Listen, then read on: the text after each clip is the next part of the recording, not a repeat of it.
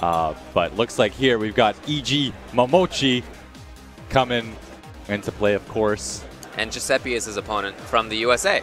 Yes. So Japan versus US. And uh, I Full believe, F1. how did Momochi do in... I don't remember the last one he was at, but it's okay.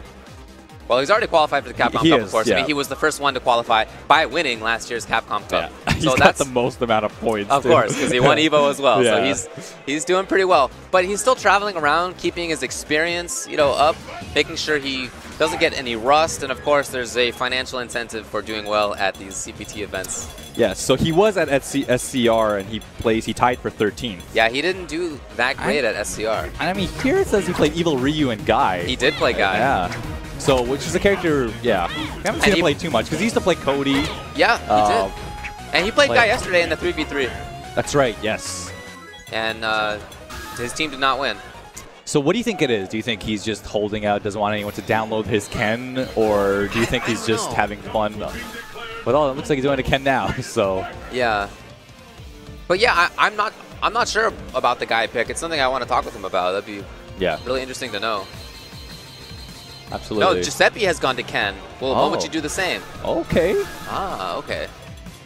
So when, for example, Momochi had a chance to play against Chris T's Ken, so a SoCal Ken player, Yep. he did not do the, the mirror match. It was Oh, Evil Ryu. not. Oh, wow. But against Giuseppe, he does do the mirror. I see it. Momochi on the left using Ultra Combo Double. Huh. Okay, interesting. Yeah. Oh, I know. My goodness, that outfit. Shinnok Ken. he looks like he's Kazuya's brother or something. Nice. Always great to see Momochi's movement and his understanding of the ranges. Oh, wait, Yeah. that was pretty solid by Giuseppe, though. Oh, nice. I love it. All right, Giuseppe came here to play. This is. Let's see if Momochi. Uh, I don't know if he was expecting that, but that that was a really good sequence of spacing and and confirm and combo from Giuseppe.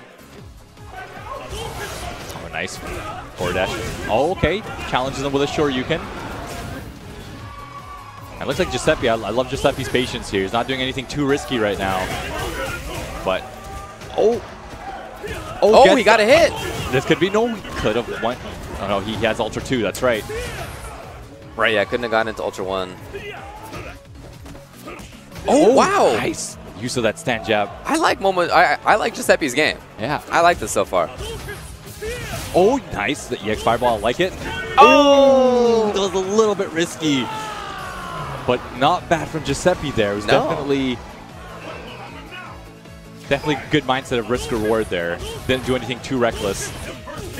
Oh, use that forward dash. Forward focus dash, but yeah, and the punish. Yeah, the FADC punish here. Oh. Okay, yeah. So we're we're seeing Momochi having caught on.